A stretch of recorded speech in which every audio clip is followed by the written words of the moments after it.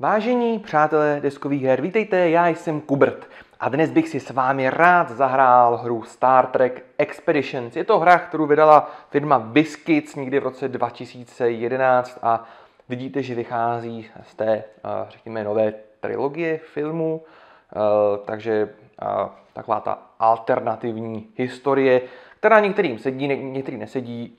Já mám rád Star Trek, mám rád hry, tak si to sama prostě zahraju. Ve hře Star Trek Expeditions eh, přelétá Enterprise na planetu Nibian. Přelétá na pozvání té planety, protože vláda chce zahájit jednání o vstupu planety do Spojené federace planet. Po příletu ale přivítání eh, vlastně vlády prezidenta je velice chladné a zjevně nastala nějaká změna, co ovlivnilo přijetí Enterprise a její posádky. Eh, navíc pan Spock zjišťuje, že na orbitu planety nedávno přiletěla další vesmírná loď a že i ta by mohla mít možná něco trochu společného s tím, co se na té planetě děje a co budeme muset vyřešit. Pokud chce kapitán Kirk uspět vlastně srovnat vztahy Federace a Nibianu a umožnit pokračování těch dialogů o vstupu Nibianu do Federace planet, tak bude této, této hře řešit tři takový příběhový linky, tři, tři hlavní mise. Fialová mise to je nějaká politická, politická situace, kde se budeme snažit uh, vlastně uh, přesvědčit ten Nibian, že ta federace je pro ně správnou volbou a že nechtějí být pod nadvládou Klingonské říše. Uh, ty žlutý mise, ta žlutá mise, ta linka příběhová, ta zase řeší nějakou počínající občanskou válku na, na Nibianu, takže se budeme snažit řešit situaci nějak, s nějakýma rebelama. A e, ta zelená linka, to je ekologie, e, mají tam zjevně nějaký problém s ekosystémem a ty my jim pomůžeme na Nibianu řešit. Hra je plně kooperativní pro jedno až pro čtyři hráče. E, k dispozici jsou tady postavy kapitán James Tiberius Kirk, pan Spock, poručík Uhura a doktor McCoy. Je to blbý hrát jako za jednu postavu. Jo. Většina hráčů to hraje i v jednom za, za čtyři postavy, ale my budeme hrát s dvouma postavama. Já vyberu pana Spoka a vyberu poručíka Uhuru, aby jsme to měli genderově a rasově vyvážený a s těmi těma dvouma postavama já se přesunu na planetu a uvidíme, co se stane. Ty Příběhové linky se budou různě větvit. Eh, na začátku hry je potřebné tyhle ty karty těch zápisníků, těch denníků seřadit od jedničky 1, 2A, 2B, 3A, 3B, 3C, 3D, aby, aby šly postupně 1, 2A, 2B, 3A, 3B, 3C, 3D. To vypadá v pohodě, tady 1, 2A, 2B, 3A, 3B, 3C, tak. A otočí se ty jedničky, to bude to, co budeme řešit v počátku hry. Tady jsou karty hvězdného data. Na začátku každého toho, každého hráče si každý hráč lízne jednu tu kartu, takže jsou takové řekněme události. Jsou tam tři barevná spektra a řeší se vždycky podle obtížnosti. Takže modrá je nejlehčí, střední nejtěžší. Vybereme tu střední obtížnost, takže vždycky budeme řešit modré věci, žluté věci, červené věci budeme ignorovat. A tak na těch kartách je číslo, které udává, eh, udává počet akcí pro hráče a pak tam jsou nějaké ikonky, které řeší, co dělají klingoni, jak ubíhá čas, co se děje během toho kola. Taková klasika. A pak to balíček karet Energize. To jsou vlastně karty, s kterými hrajou postavy hráči. Na začátku hry má každá postava dvě tyhle ty karty. Eh, v těch kartách jsou buď to akce, anebo i postavy, které můžete zneu- využít. Takže pan Spock má tady, a koukejte, má tady zrovna dvě, dvě postavy, má tady kormidelníka a má nějakého planetárního vědce, to se bude určitě hodit, tak si dá také pod sebe.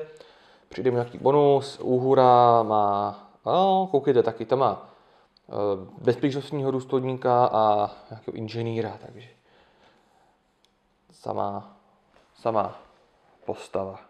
Na té herní desce je planeta Nabian a je rozdělená na 15 sektorů. V každém sektoru je jedna karta, která obsahuje nějaký dodatek k, k kapitánovu deníku, nějak, prostě nějakou misi, něco, co tam máte udělat, jak máte pomoct Ty karty těch rybníků, tam jsou dvou druhů, jsou tam lokace. Eh, ty karty lokací určují eh, vždycky přesně lokace, kde máte řešit tu hlavní, tu hlavní misi.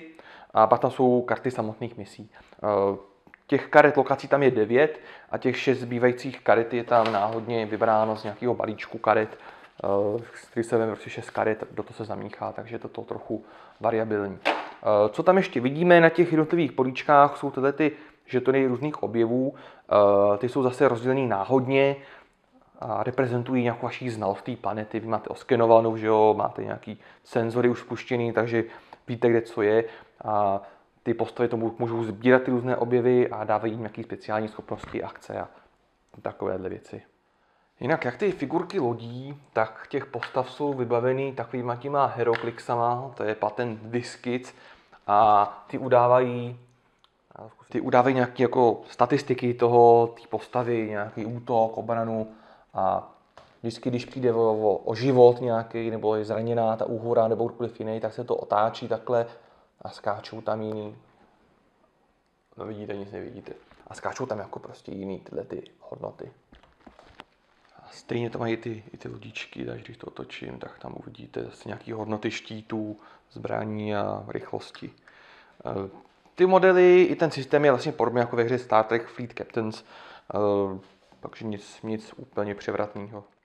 Kdo s tím někdo operoval, tak ví, že to celkem, celkem takový neúplně šťastný systém. Ale ty modely jsou krásný a nabarvený, takže za to určitě palec nahoru. No tak, můžeme začít. Eh, je to velice jednoduchý. První začne hrát tady pán Spock a já si pomůžu lama kartou a můžeme číst, co se má dělat. Otočte kartu hvězdného data a vyřešte ji. Takže beru tady Stardate kartu a vyřešíme ji. Pan Spock dostane tři akce v tomto kole. Uběhne nějaký čas, takže posuneme potom time tracker o 1 a hlavně ten efekt musíme odhodit nějaký token, nějakou věc, kterou jsme získali, nebo ztratíme dva kliksy. Takže uběhl čas, jak jsem říkal, jsme na jedničce, nic nemáme, nic nedáme, takže tady dva kliksy, takže jakoby klik, klik. To nám to hezky začíná.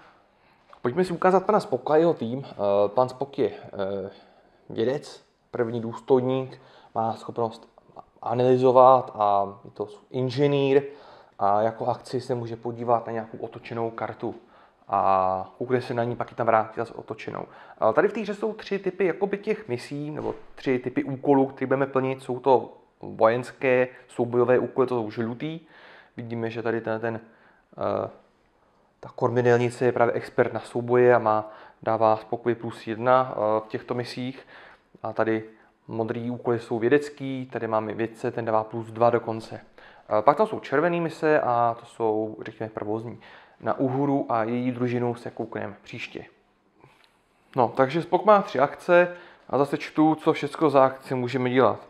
Jít uh, do Sigbaye, to je prostě lékárna, doktor na lodi, můžeme zautočit Enterprise, můžeme uh, se transportovat na planetu, transportovat z planety na loď, to můžeme pouze jednou za kolo. Jo? Jednou za kolo může postava použít transportér, můžeme se pohnout z místa na místo, můžeme vzít nějaký ten token, na kterým jsme, můžeme uh, udělat tu akci té postavy, uh, můžeme si vzít jednu kartu z balíčku Energize z tohohle za akci, můžeme přesunout nějakýho člena posádky mezi, mezi hráčima, pokud jsou postavy uh, u sebe, anebo se můžeme pokusit o nějakou tu výzvu, o nějaký ten challenge. Tak uh, Spok má možnost to se záchci, on se prostě přesune, jo. Prostě veme, veme Spoka a někam se transportujeme, můžeme úplně kamkoliv. Takže první akce bude, že se transportujeme sem na to políčko a otočíme tu kartu, která tam je. Otočíme kartu a najdeme tam. Že jsem nemohl. Tak a vidíme, je to právě je to karta Captain's Law Location, karta Politics. Takže teď uděláme jednu věc, ukážu. Je to fialová politika, takže vezmeme tuhle tu kartu, to je ta hlavní mise a tam ji foukneme místo toho. Prostě tam říká, že tady se bude plnit ta hlavní mise, tak se na ní hned můžeme podívat. Že ta mise se jmenuje prezidentský palác, Nibianská vláda je najednou taková ostražitá a váhá se vstupem do federace. Přesto přes všechnu technologickou pomoc a obchod, který federace nabízí. Tak a naším úkolem je zjistit, proč eh, Nibia změnila její postoj ohledně vstupu do, do federace. Je to, je to výzva, je to žlutá výzva, takže to jsou jako ty souboje, řekněme. A pokud by naše postava nebo nějaká, nějaký člen posádky měl schopnost diplomaci, tak nám to jako fakt pomůže. Bohužel to teď nemáme. Nevadí. No a vtip je v tom, že podle toho, jestli to uděláme a jak moc to uděláme, tak se nám bude načítat skóre a hlavně se vyřeší, jaká dál, jak bude pokračovat. Jo? To může to se větví a rozhodne se o tom, jak to bude dál pokračovat ten příběh, ta, ta příběhová linka. No a za akci si může tedy Spock vzít uh, ten artefakt, který když zahodí, tak dostane dvě, dvě akce. Tak to si prostě veme, protože za akci dostanete dvě akce a to se hodí. Takže beru. Tak. Uh, takže Spock udělal dvě akce. Uh, vy se ptáte, jak se dělají ty výzvy. Ty výzvy se jednoduše. Vy se kouknete na základní hodnotu, kterou má ta postava na tom kliksu, což má teď na žlutý, uh, žlutý mise Spock 8. K tomu si hodíte tyhle ty dvě kostky. A k tomu můžete právě za každou postavu, která má to diplomaci, přičíst dva. Uh, takže my bychom teď na těch dvou kostkách museli hodit 12, což není úplně jednoduchý. No vlastně jenom 11. Máme tady toho crewmembra, který má plus jedna na žlutou, takže to by mu, to by mu trochu, trochu pomohlo, ale uh, ne moc. Jo, takže jako 11 nehodíme. Na těch kostkách jsou 1, 2, 3, 4, 5 a pak tam je 7.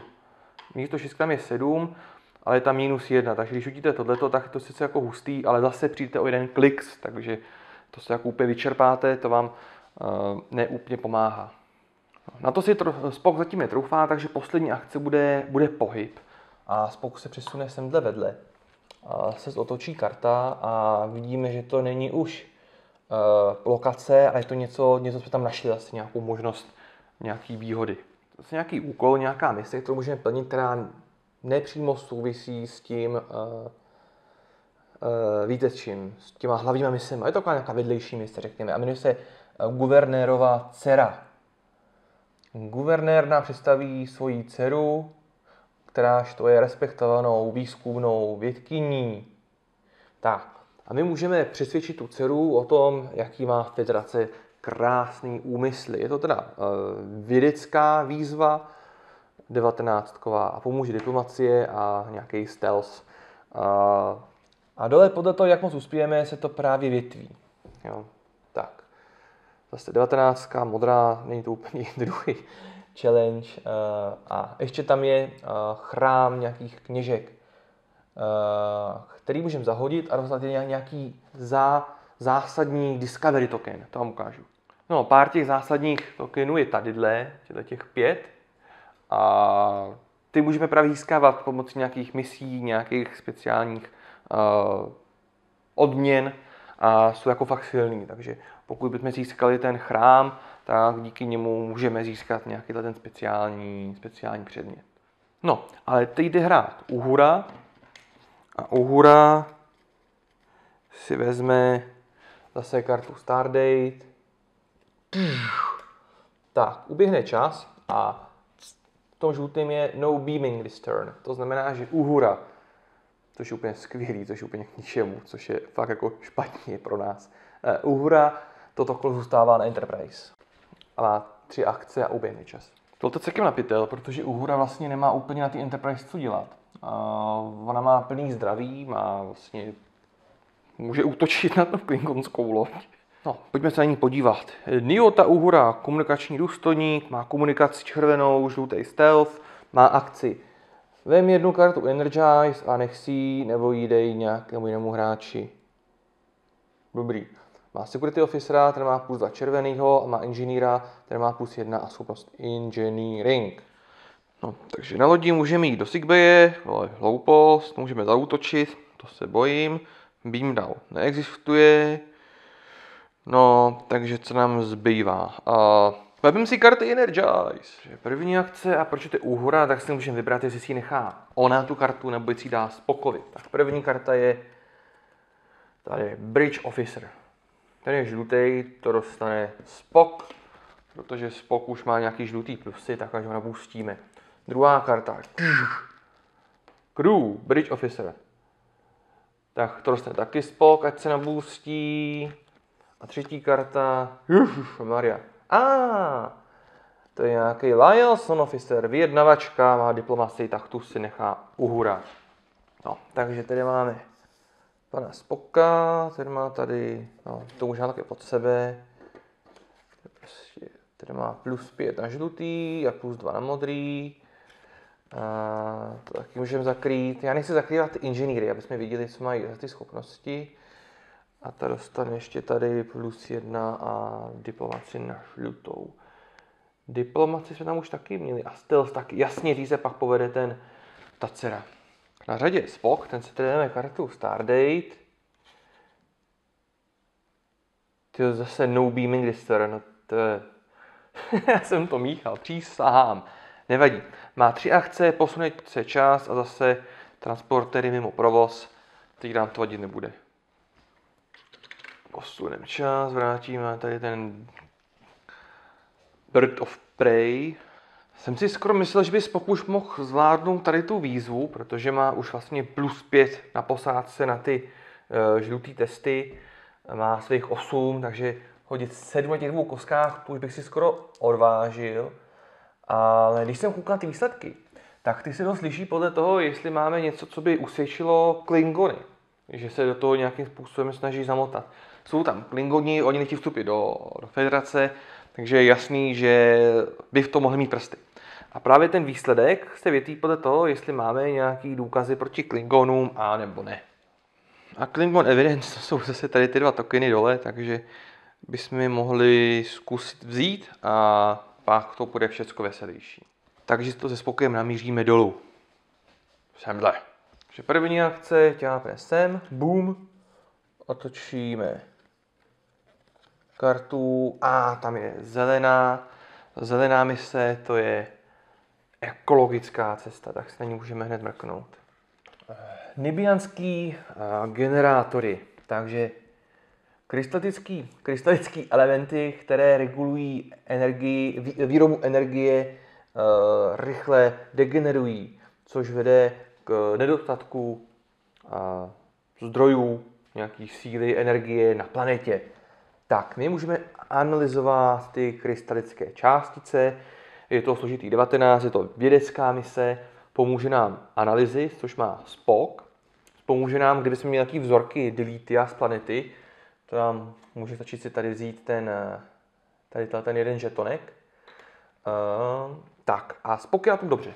Spock má analýzy, takže má plus 2, má plus 2 u, tý, uh, u tohle toho util ty posádky, takže má vlastně plus 4. Kdyby sehnal ten vzorek toho Deletia, tak by měl plus 6. A samotný Spock má teď 10, takže on má, on by měl 16. No, ale my pokud budeme mít 19, tak to jenom prostě jako něco zjistíme, ale je to takový jako slabší. Aby jsme to opravdu pokořili a měli ten lepší výsledek z těch dvou, tak bychom potřebovali aspoň 24, takže chodit 8 na těch dvou kostkách. Tak, ale to zvládneme, ne? Takže za druhou akci si vezmeme tady ten vzorek Deletia, který krom toho, že to je vzorek Deletia, eh, nám umožní kdykoliv ten, eh, to zahodit, to Deletium, a přidat plus jedna k síle Enterprise při útoku na Klingony. Tak, takže máme, máme 16. Já to zkontroluji ještě jednou. Máme klik z valů 10, plus 1 nebo plus 2 za posádku, plus 2 to je 12, matching skill plus 2 analysis je 14, token delete sample 16. Jiný hráč tady není, ani tam není crew podobně, takže 16. Já se chopím svého oblíbeného nástroje zla a budem doufat, že hodím 8. Eh, to je takový pirhovo vítězství. My jsme uspěli, takže to je dobře. Ale za každou tu sedmičku musíme chudáka Spoka zase klepnout přes, přes škebly a vzít mu e, zdraví. Takže jedna, dva. No, ještě žije, ale už přišel o, o kolik? O čtyři? To bych chtěl se stavit na Enterprise a zajít si do léčebny. A co pak nám to říká?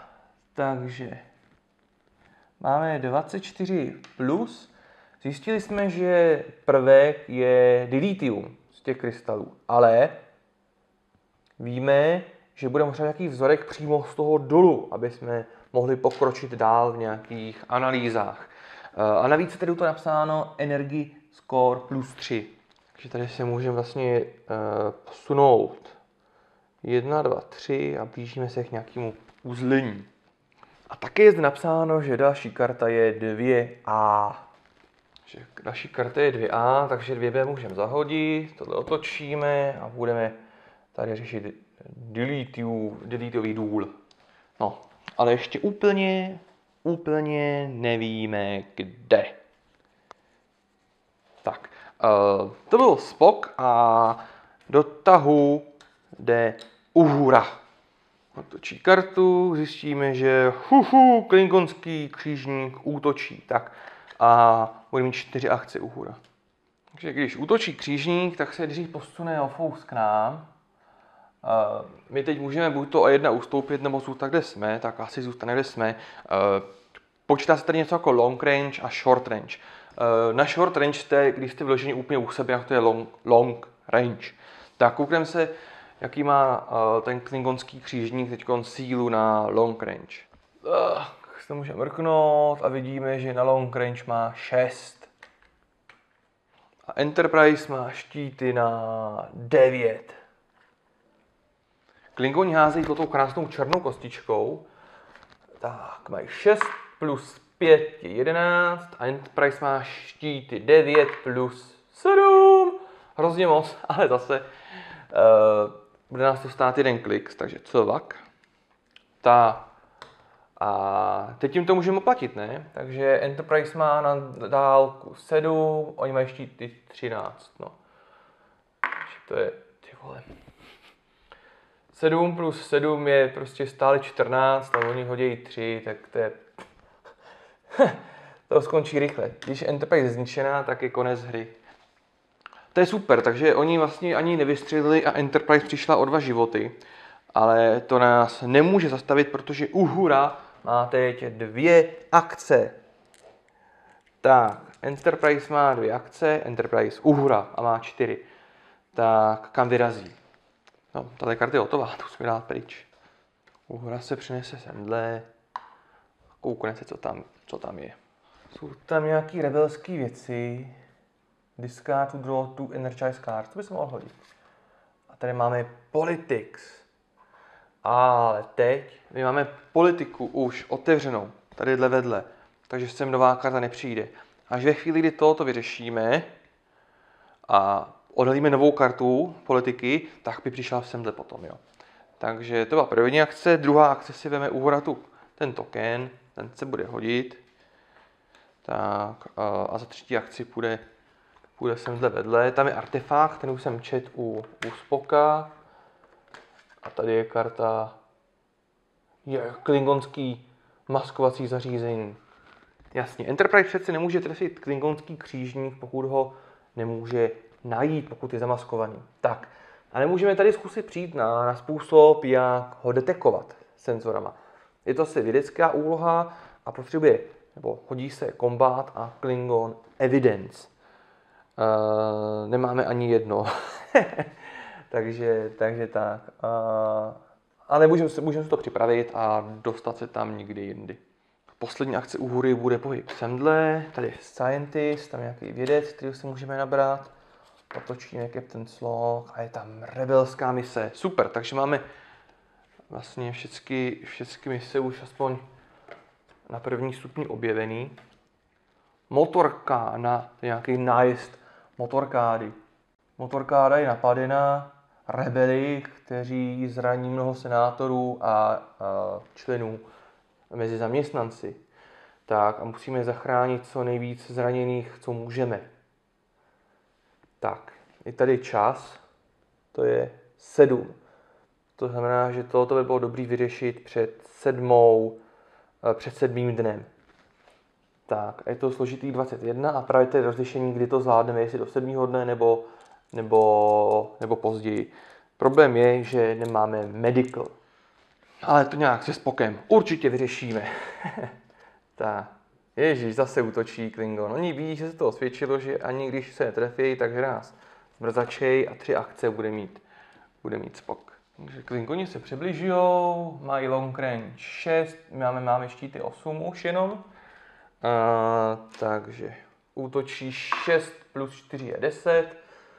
A nehodí jedničku. Tyhle. Dobře, takže uh, to máte tak. Když se daří, tak se daří. Takže jsme se sice ubránili, ale stejně ztratíme klik. A teď utočíme my. Máme na long range 6, oni mají 13, takže máme 6 plus 4 je 10. No, teď si nic nestane, sláva. Tak. Spok má tři akce. První se posune semdle. Tady jsou rebelové další, můžete. To byla první akce. Uh, druhou akcí se přesune na Enterprise. Tak a půjde do SIG B je. A tam si obnoví tolik kliků, kolik mu padne na této kostce. Tři, to je dobrý. Takže jedna, dva, tři. A hraje uhura. Zase útočej. A zase tři akce. Já se budu muset kouknout, jak se opravuje Enterprise. Nevadí. Oni mají na long range 6, plus 3 je 9, my máme štíty 8, plus 3, tak jsme si ubránili, útočíme, je časně posunout, že jo. Útočíme 6, 10, oni mají štíty 13, takže v pohodě. Tak, úhora má, úhora má 3 akce. Omlouvám se za kopnutí do stativu. Vidíte, že to odsejpá, úhora se pohne pohne dolů, tady tohle odhalí, zjistí, že tady je obklíčení klingony. To obklíčení klingonskýma sílama. Pokud jsme sami, tak nemůžeme opustit tuto lokaci, dokud toto úspěšně nevyřešíme. Huh, dobrý, ale to by nemusel být úplně, úplně problém. Tady pomáhá stealth a pomáhá Eh, crew on space, nějaká posádka, která je přítomná na, eh, na tom poli. Úhora má 7 pro souboj, plus 2 za stealth je 9, plus 1 je 10. A teď za každýho crew dostane další bod, takže 11, 12, 13, to nejsou úplně dobré vyhlídky a proto zkusíme stelíznout kartu Energize jako druhou akci. Jo? A úhora by tak mohl hrát i spokovi. A máme tady kartu Leadership, což už není karta crew, je to karta akce. Tu si můžeme nechat na ruce a před nám plus 2 k jakýmukoliv uh, hodu kostkou. To je dobrý. A poslední akcí to prostě uhura zkusí.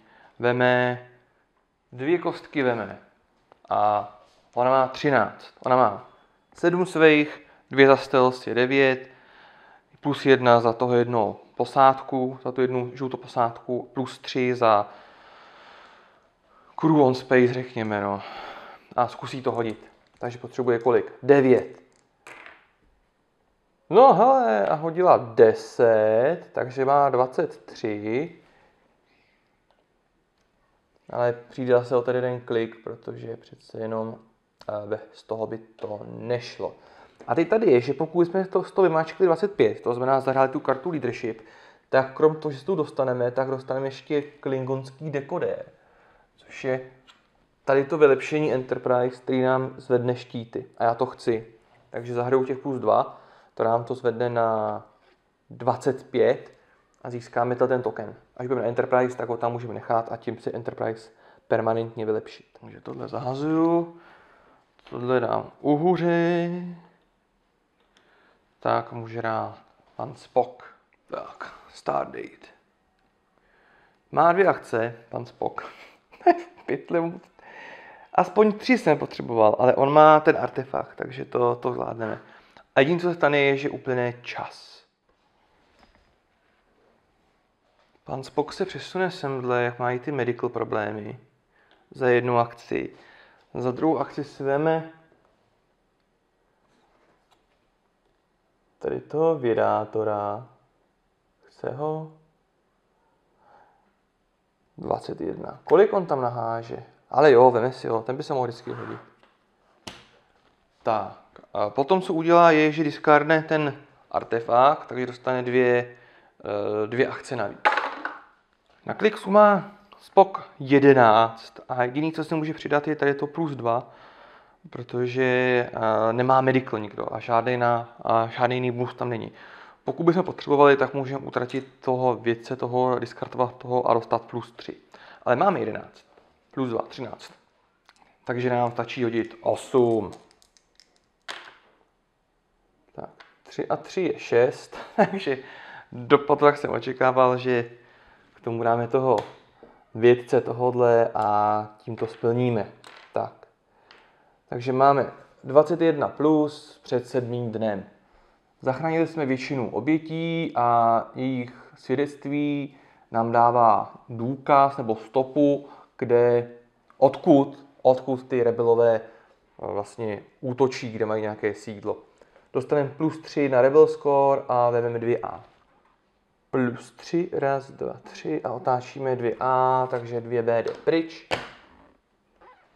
Základna rebelů. Uh, povedeme výsadek, uh, do té základny, aby jsme našli, že je tam skupina Klingonů, který radí těm rebelům. No to jsou teda šmejdí.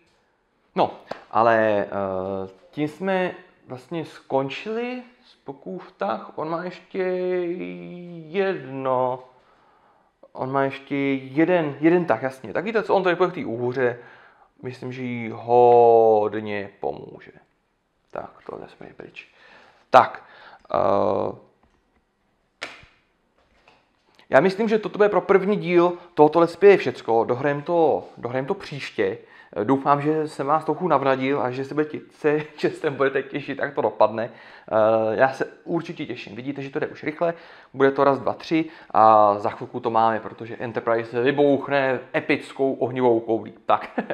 Takže já se těším na někdy příště a zatím na viděnou, naslyšenou. Ahoj.